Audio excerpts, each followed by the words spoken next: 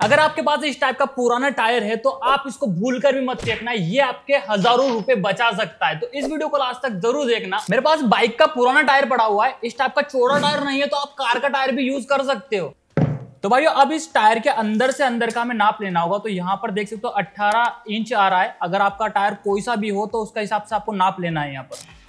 अब यहाँ पर एक प्लाईवुड का पीस लेंगे। 12 एम का प्लाईवुड का पीस है ये। इसका साइज़ 20 इंटू बीस इंच है, जिसके अंदर से 18 इंच का हम यहाँ पर एक गोला निकाल लेंगे।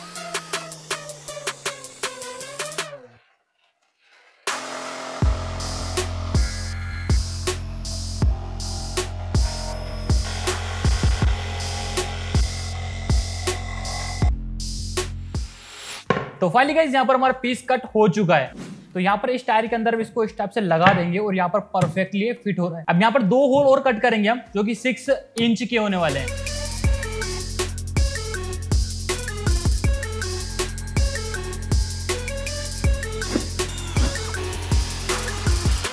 वीडियो में आगे बढ़ने से पहले आप सभी को बताना चाहता हूँ कि जब भी हम लकड़ी की या फिर प्लास्टिक की या फिर किसी भी चीज़ की घिसाई कटिंग वटिंग कुछ भी करते हैं तो काफ़ी ज़्यादा डस्ट उड़ती है। वो सारी डस्ट हमारे कैमरे के अंदर कंप्यूटर के अंदर और मशीनरीज के अंदर चली जाती है, जो काफ़ी ज़्यादा दिक्कत देती है। इसी प्रॉब्लम से बचने के लिए हमने यहाँ पर नया प्रोडक्ट मंगवाया।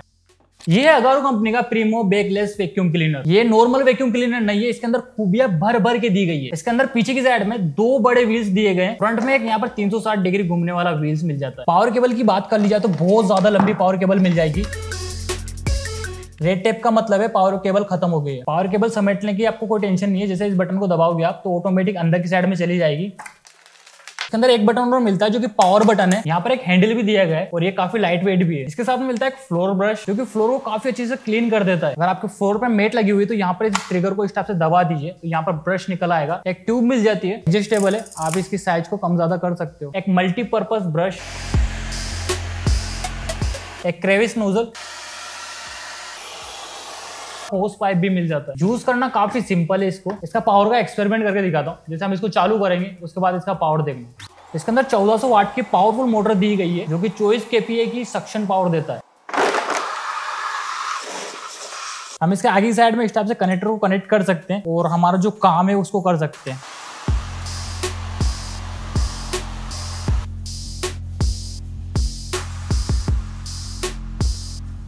इसके अंदर आपको साइक्लोन फीचर दिया गया है। जब भी डस्ट इसके अंदर जाती है तो गोल गोल घूमती है और हमारा जो हिपा फ़िल्टर है उसको जाम नहीं करती। 1.5 लीटर का डस्ट कंटेनर मिल जाता है, जिसके पीछे की साइड में हिपा फ़िल्टर लगा हुआ है, जो कि सारी डस्ट को यहाँ पर ही रोक देगा। इस ट्रिगर को दबाने के बाद में ये ओपन हो जाएगा और यहाँ से आप डस्ट को क्लीन कर सकते हो। इसके अंदर लगे हुए दो हिपा फ़िल्टर जो कि आप इजिली ब्रश के द्वारा क्लीन कर सकते हो। इस मशीन को परचेस करना चाहते हो तो लिंक डिस्क्रिप्शन के अंदर दिया गया वहाँ से आप इसको परचेस कर सकते हो। तो फाइनली गाइज़ यहाँ पर मैंने दोनों होल कर लिए इसके अंदर। अब मेरे पास यहाँ पर एक लेमिनेटर है, जो इसके ऊपर हम लगाने वाले हैं। हमारे यहाँ इसको माइका बोलते हैं। आपके यहाँ पर क्या बोलते हैं, मुझे कमेंट करके ज़रूर बताना। मैं यहाँ पर फेविकोल स्प्रे का यूज़ करने वाला हूँ इसके अंदर।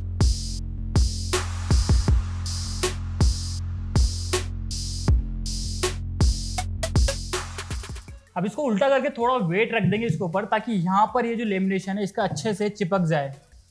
One hour later.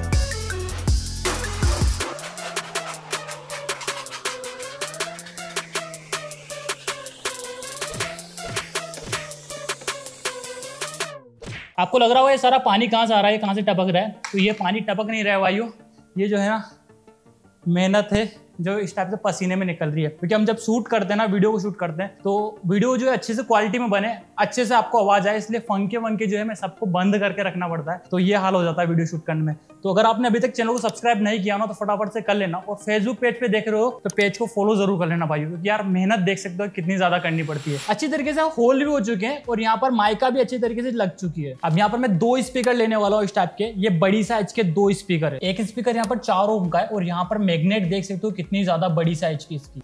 अब यहाँ पर एक एम्पलीफायर बोर्ड लेंगे ताकि हमारा स्पीकर जो उनको बजा सके हम। ये इसके साथ में कुछ नोब्स और वायर निकले हुए जो कि हमें इसके साथ में लगाना होगा। और ये रहा हमारा एम्पलीफायर बोर्ड ये टीपीए इकतीस सोलह एम्पलीफायर बोर्ड इसके अंदर 50 वाट के दो स्पीकर और एक 100 वाट का वूफर लगा सकते हैं। यहाँ पर आपको पाँच नोब मिल जाते हैं। एक मास्टर वॉल्यूम ये जो चार है बेस के लिए टेबल के लिए लेफ़्ट राइट के लिए हमारे काम आने वाले पीछे 3.5 पॉइंट mm का जेक लगा सकते हैं। स्पीकर के लिए यहाँ पर इस टाइप से कनेक्शन दिए गए बारह से चौबीस वोल्ट तक का इसको पावर सप्लाई चाहिए। अगर आप चौबीस वोल्ट का दोगे तो काफ़ी शानदार सा इसके इसके अंदर आउटपुट निकलेगा। ब्लूटूथ इसके अंदर इनबिल्ट दिया गया है। मास्टर वॉल्यूम के अंदर आपको एक स्विच भी मिल जाता है पुश बटन के रूप में। अब यहाँ पर दोनों स्पीकर जो है, इनको यहाँ पर लगा देंगे इन दोनों होल के अंदर।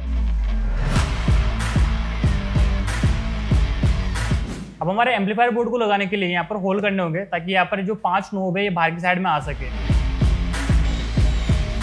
होल मैंने यहाँ पर कर दिए अब बोर्ड को यहाँ पर इसके अंदर लगा देते हैं।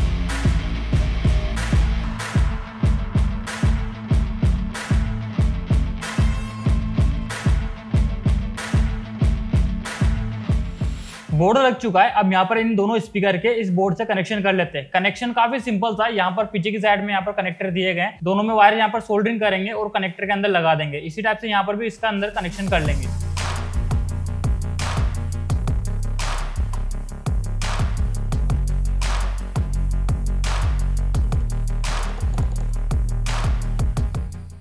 स्पीकर का कनेक्शन कर लिया है। यहाँ पर पावर सप्लाई के लिए मैंने एक्सटी कनेक्टर लगा दिया है, ताकि यहाँ पर हम बैटरी को लगा सके पावर सप्लाई को लगा सके, कुछ भी लगा सकते हैं बारह वोल्ट से चौबीस वोल्ट तक। अब इस टायर के अंदर यहाँ पर इसको पूरा फिट कर देंगे हम तो यहाँ पर इसको इस टाइप से रख देंगे और स्क्रू के द्वारा यहाँ पर चारों तरफ़ से स्क्रू लगा देंगे। अब यहाँ पर ऊपर की साइड से स्क्रू लगाएँगे ना तो यहाँ पर ऊपर स्क्रू दिखेंगे ब्लैक ब्लैक कलर के तो हम यहाँ पर क्या करेंगे, टायर के नीचे की साइड से स्क्रू लगाएँगे।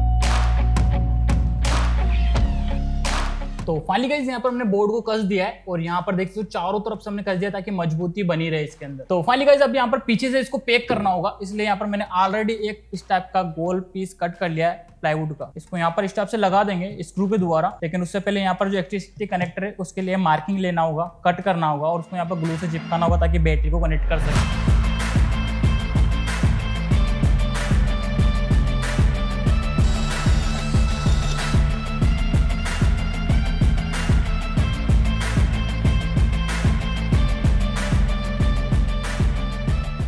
हॉट ग्लू से इसको लगा दिया है, काफ़ी अच्छे से लग चुका है। जब भी हम बैटरी निकालेंगे, लगाएँगे तो बार बार निकलेगा नहीं यहाँ अब इसको यहाँ पर स्टेप से लगाएँगे, लेकिन उससे पहले एक काम और करना होगा। यहाँ पर एक बड़ा सा होल करना होगा तो फटाफट से होल कर लेते हैं।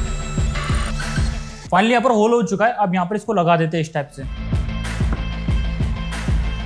फाइनली यहाँ पर ढक्कन लग चुका है। अभी यहाँ पर स्क्रू से इसलिए लगा है इसको ताकि हम बाद में खोल भी सके इसको और कोई भी कोई मिस्टेक आ गई तो रिपेयर भी कर सके, ठीक है? अब यहाँ पर हमें क्या करना होगा? आगे की साइड में आप देख सकते हो कि स्पीकर पूरे दिख रहे हैं हमारे। तो यहाँ पर कोई बच्चा अगर मान लीजिए उंगली कर देगा, पर्दा उर्दा फट सकता है तो यहाँ पर ग्रिल लगा देते हैं इसके अंदर। यहाँ पर मैं दो ग्रिल का यूज़ करने वाला हूँ। यहाँ पर ये जो ग्रिल्स है, मैंने थ्री प्रिंटेड बनाई है और ये मार्केट में मिल जाते हैं इजिली लेकिन यहाँ पर मेरे को डिज़ाइन अलग चाहिए थी, इसलिए मैंने यहाँ पर इनको थ्री प्रिंटेड किया है। इसको चिपकाने के लिए सुपर ग्लू का यूज़ करूँगा मैं, लेकिन ध्यान रखना होगा कि पर्दों के अंदर ना चला जाए। स्पीकर ख़राब हो सकते हैं।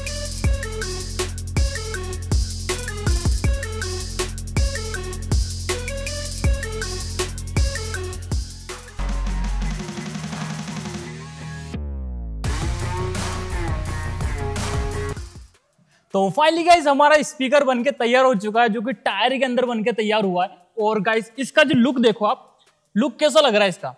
सुबह अल्लाह क्या कारीगरी है? आप कमेंट करके बताओ लुक कैसा लग रहा है? अब यहाँ पर इसको चालू करके देखते हैं। चालू करने के लिए हमें ज़्यादा कुछ भी नहीं चाहिए। यहाँ पर मेरे पास एक ड्रोन की बैटरी है, जो कि चौदह वोल्ट की है, और यहाँ पर बारह वोल्ट से लेकर चौबीस वोल्ट तक आप कुछ भी दे सकते हो, इसको आराम से चल जाएगा, ठीक है? तो यहाँ पर मैं इसको इस टाइप से लगा दूँगा। और फाइनली गाइज़ ये ऑन हो चुका है। और देख सकते हो भाइयों यहाँ पर ये जो इतनी सी बड़ी बैटरी से चल सकता है आराम से ठीक है? अब यहाँ पर इसको नीचे की साइड में रख देंगे और इसको आप कहीं भी ले जा सकते हो। मान लीजिए आप कहीं पिकनिक करने जा रहे हो तो कहीं भी ले जा सकते हो। काफ़ी आराम से चलेगा और काफ़ी तेज साउंड इसका। अब इसको चालू करके देखते हैं। मैंने मोबाइल से इसको कनेक्ट कर लिया ब्लूटूथ से डायरेक्ट कनेक्ट हो जाता है ये। अब इसके अंदर कुछ बजा कर देखते हैं। तो अभी मैं क्या है कि इसके अंदर गाने जो है ज़्यादा नहीं बजाऊँगा क्योंकि गाने से कॉपीराइट आ जाएगा। तो हम यहाँ पर क्या करेंगे कि एनसीएस के म्यूज़िक लगाएँगे। अगर आपको गाना सुनना है तो हमारे इंस्टाग्राम आईडी जो है उस पर जाकर देख लेना। आप। अब इसका देखो साउंड मैं ना बिल्कुल कम कर रहा हूँ ताकि आपको समझ में आए कि कितना साउंड आ रहा है। ठीक है, मैं यहाँ पर साउंड इसका बढ़ाता हूँ।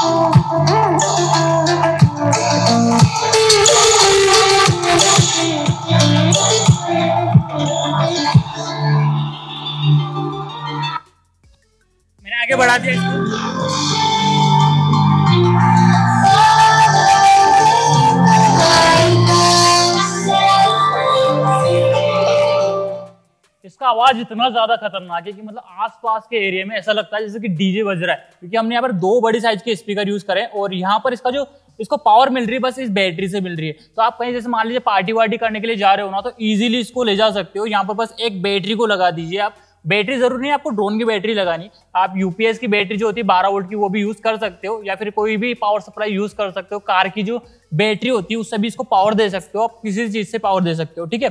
तो यहाँ पर इसको हम चला सकते हैं।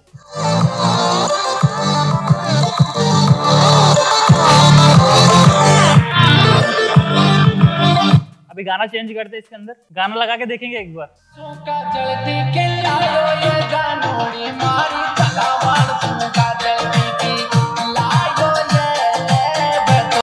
आउटडोर में इसको चेक कर लिया इंडोर के अंदर भी चेक कर लेते हैं। अब यहाँ पर थोड़ा गाना लगा कर देखने वाले हम राजस्थान झालावाड़ से तो झालावाड़ ही गाना लगा के देखते हैं